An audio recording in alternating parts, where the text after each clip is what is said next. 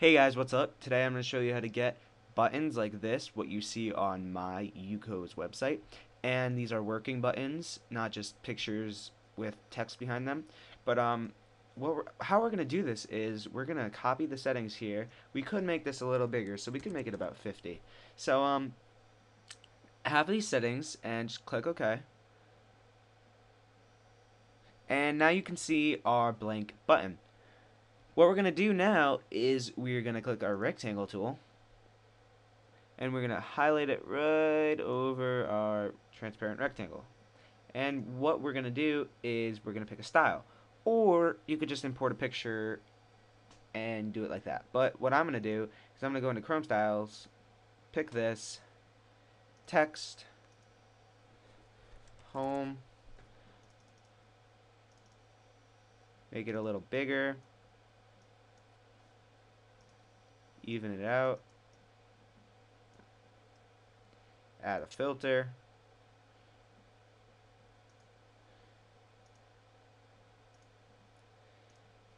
and add a vector mask.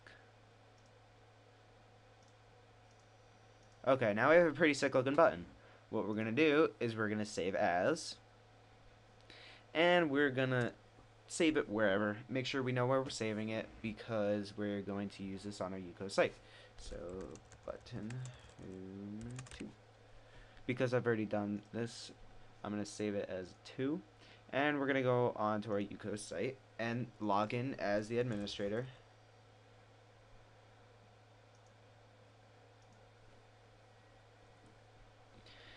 Da, da, da.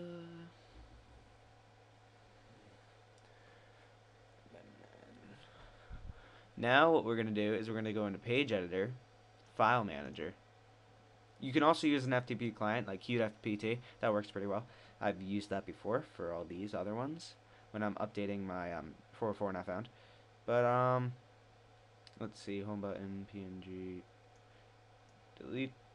Okay, now browse for your file that you just created. So I'm looking around for my button. There it is upload file and that file has been uploaded. Now we're going to go to design management which is templates and we're going to click the one that matters for you and you're going to you're going to choose from the top, bottom, first container, second container or friends. I don't know what friends is. But anyways, top, obviously top, bottom, left left side which we which you saw on my website and the right side if you go onto my website which is the second container, you'll see check out my YouTube, follow me on Twitter, and the statistics, who's online, what's up. And if you're not registered, you'll see a login right here. So, um, and this is the first container. And this is where I have my little um, website banner leading to back to the homepage. And you, that's my top, that's the YouTube. Oops. Anyway let's get on with this. So I'm going to use the first container. And sometimes you will have problems with the visual HTML editor.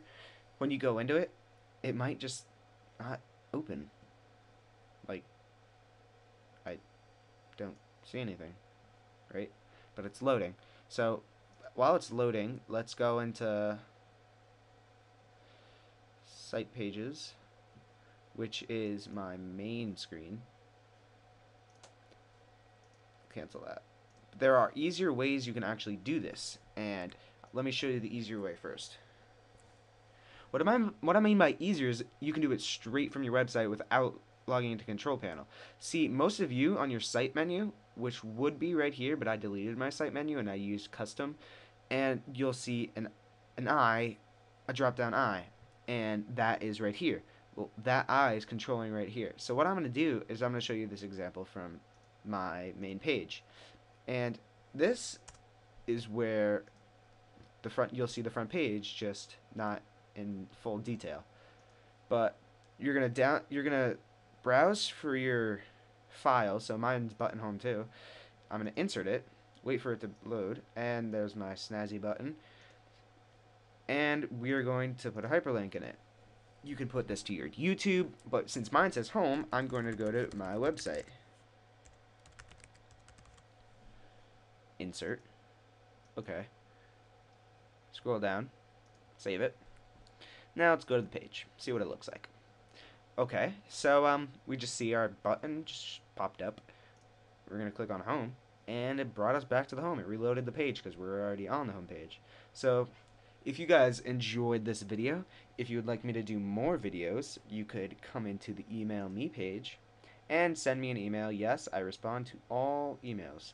So um, hit me with an email. This goes straight to my email. You don't have to know it, but um, leave a comment, PM me on YouTube. Make sure you rate this video, guys. Let the whole YouTube community know that you can do this. You can customize your uCoz website.